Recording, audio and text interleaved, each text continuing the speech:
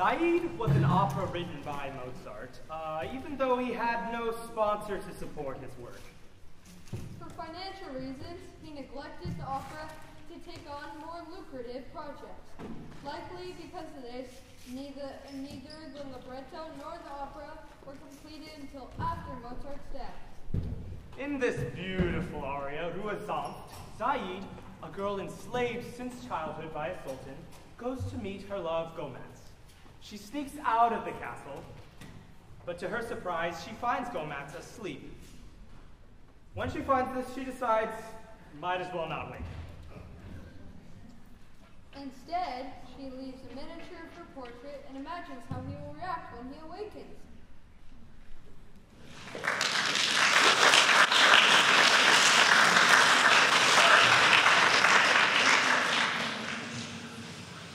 Thank you.